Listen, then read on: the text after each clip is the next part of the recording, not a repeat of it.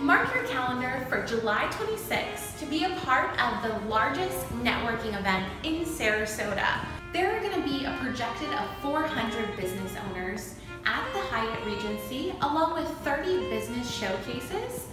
live performances throughout the night, and live raffles that will help Tiny Hands Foundation, which is a local nonprofit, help give students in Sarasota